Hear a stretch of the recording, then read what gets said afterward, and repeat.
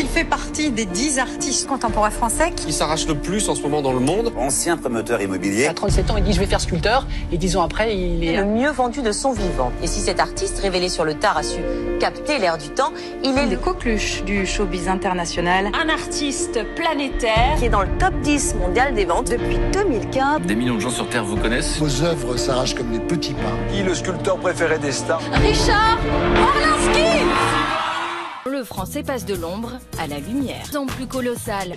Les nouvelles créations, les anciennes, et donc dans n'importe quel domaine en fait. C'est vrai? Vous allez voir les œuvres de Richard. Non, non, pour moi de le remettre un shooting. Peut-être pas, en tout cas moi j'y crois. C'est peut-être. Orlinski est avec nous, merci mon Richard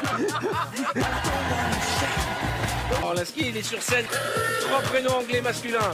J'ai rendez-vous avec le classe.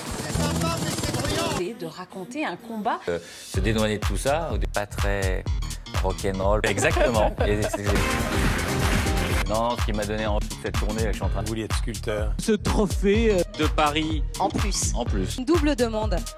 Une œuvre monumentale. de nettoyer vos fauteuils. transformer cette 911 GT3 Ce succès planétaire. Richard Orlinski. J'essaye de, de parler à tout le monde. On voit effectivement cette, ce monstre finalement. Richard Orlinski. Est-ce que c'est bon? C'est très. Ah oui, oh là là. Richard Orlinski has been the biggest contemporary French artist D'ailleurs, on m'a sollicité pour créer finalement quelque chose, mais c'est de tout plaquer pour me lancer dans une carrière très artistique. Il y a des joueurs. Non mais c'est une grande question, est-ce que c'est de l'art ou... Merci de me le souhaiter. dans mon ce que je faisais. Richard Orlinski, bonjour Richard. Bonjour. Alors, c'était pas forcément de la sculpture, de la. Richard Orlinski.